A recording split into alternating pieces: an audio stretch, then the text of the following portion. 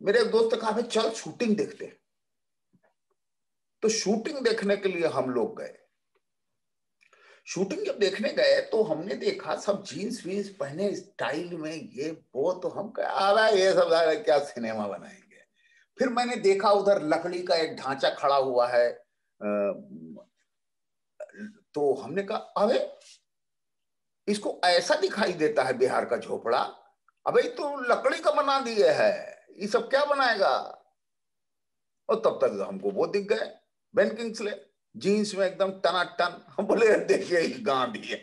हम लोग मज़ाक मखौल उड़ा रहे हैं सही करके। फिर उसके बाद हुआ नाश्ता नाश्ता। दो ठो बस आई थी।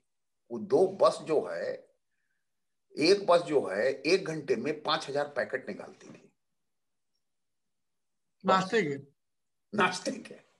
तो लोगों को मना किया गया था क्योंकि उसमें जो है, अब वहाँ मुसलमान लोग भी होंगे तो उसमें हैम होता था तो हैम वो वर्जित है उनके लिए तो सबके लिए नहीं था।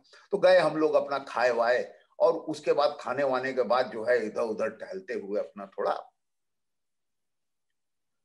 झोपड़े की तरफ़ पहुँचे। हम कहा भाई झोपड़ा कहा गया? तो झोपड़ा बना दिया। अरे, इसको तो झोपड़ा झोपड़ा तब्दील अरे बिल्कुल मेरे लिए ऐसा लगा जैसे कि तो कमाल हो गया। और उसके बाद वहाँ से लौटे तो देखे कि अरे तो गांधी जी हैं। सब तब्दील। सन्नाटा इतने लोगों के बीच गांधी जी आ चुके हैं। अब वो गांधी जी बैठ गए हैं वो लोकेशन पे। वो वो वाला सीन था जहाँ गांधी जी नाना पलसीकर और तीन बच्चे हैं और वो नील की खेती और वो वाला दृश्य था। तो नीचे वो बैठे हुए थे। उसमें थे परवेज अख्तर। हम्म। और अरविंद रंजन दास उस सीन में। और वो एक लड़की थी वो इप्टा वो कला संगम में थी पहले बाद में इप्टा में थी वो लड़की थी। तो वो उनके दो बेटे एक बेटी। तो हम जो है वो जब कुर्सी पे लोग बैठे हुए थे हम दूर पेड़ के पीछे खड़े होके अब एक्टर आदमी देखने लगे उनको ऐसे करके। बेन किंग्सले को। मुश्किल से एक मिनट डेढ़ मिनट बीता होगा, एक लड़का मेरे पास आया पीछे और उसने कहा कि आप यहाँ से हट जाइए।